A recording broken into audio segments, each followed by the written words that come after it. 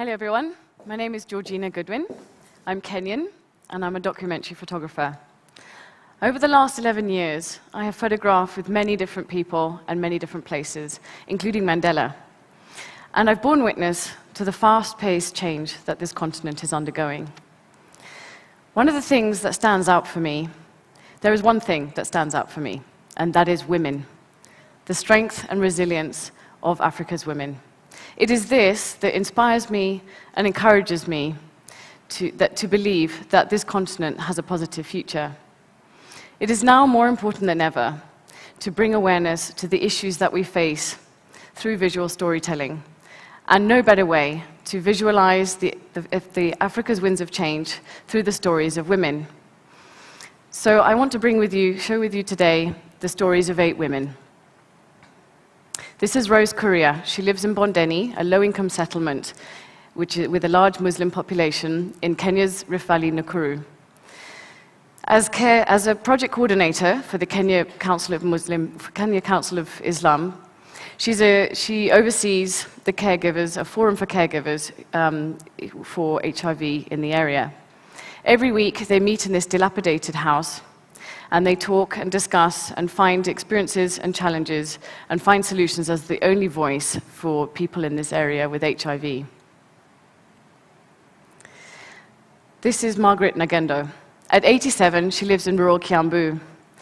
45 years ago, she was diagnosed with breast cancer, and she has, was given no option to, but to lose her right breast. She's now, she's 15, she has, she has, she's grandmother to 15 children in the area, and she works closely with people in the community who are undergoing their cancer story. With very little, this amazing woman has helped many people in her community and continues to do so as cancer spreads. This is Esther Nakundu. She's 32 and she's sitting outside her home on the slopes of Mount Elgon on the Kenya Uganda border. This photograph I took one year after her, her successful reconstructive surgery after fistula, which is a hole in the birthing, birthing canal that happens to women after prolonged labor and can render her incontinent. Women suffering fistula in communities are often ostracized. But Esther has incorporated herself back into the community and is an active member with outreach programs, identifying women who have suffered as she does, as she did. This is Norkochum for Takana on the day that she arrived at Umoja Women's Village in North Kenya's Samburu region. Umoja Women's Village is an all-female village that was founded in 1990 as a sanctuary for survivors of violence against women and for young girls escaping young uh, child marriage, which is a common practice in Samburu culture. 15 years on, the women are thriving. It's 50, there are 47 women in the village and 200 children. This is Catherine, also known as Mamushka. She is the only community health worker for 20,000 people in a place called Mugumaini, which is on the edge of Nairobi's famous Kibera slum. And in this Mugumaini area, there are two rapes a day. Mamushka works tirelessly with no help from outsiders to support the women of this village, this slum village, who have been raped. Uh, this is Samoina Moyontet, and she comes from Oloitokitok on the Kenya-Tanzania border. Behind her is Nalepo Church and School, which serves as a, as a meeting place for her self-help group, also called Nalepo, which works in, uh, which teaches microfinance training and basic economy, economics. It's women like this who are critical in rural and rural African communities as they create space for international partners to come in and bring Africa out of abject poverty. Wangu Kanja was sexually assaulted in 2002 her, the police re refused to report it as rape and instead recorded it as a robbery. Her rapist was never found and evidence was never gathered.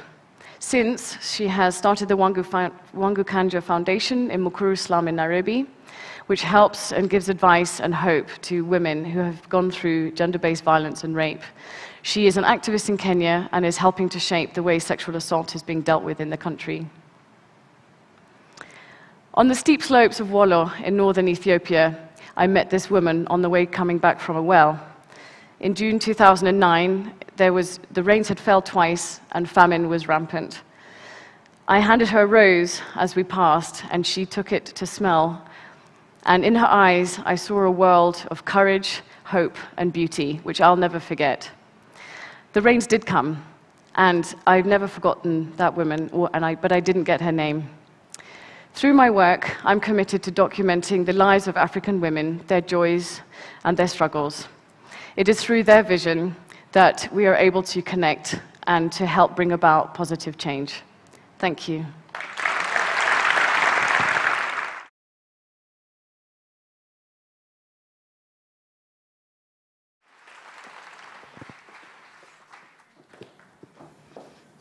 Hello, everyone. My name is Georgina Goodwin. I'm Kenyan, and I'm a documentary photographer. Over the last 11 years, I have photographed with many different people and many different places, including Mandela.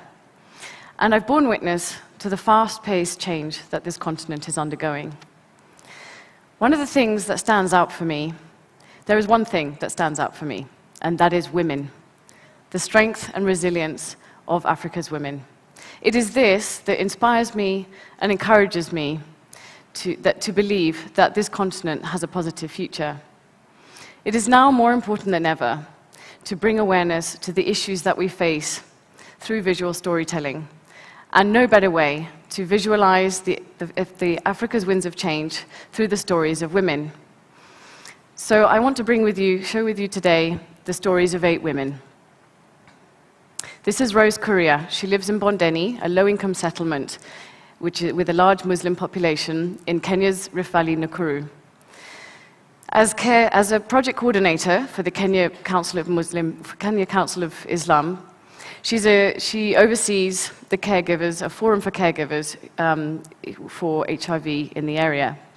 Every week, they meet in this dilapidated house and they talk and discuss and find experiences and challenges and find solutions as the only voice for people in this area with HIV.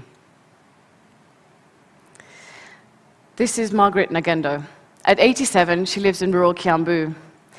45 years ago, she was diagnosed with breast cancer, and she has, was given no option to, but to lose her right breast. She's now, she's 15, she has she has, she's grandmother to 15 children in the area, and she works closely with people in the community who are undergoing their cancer story.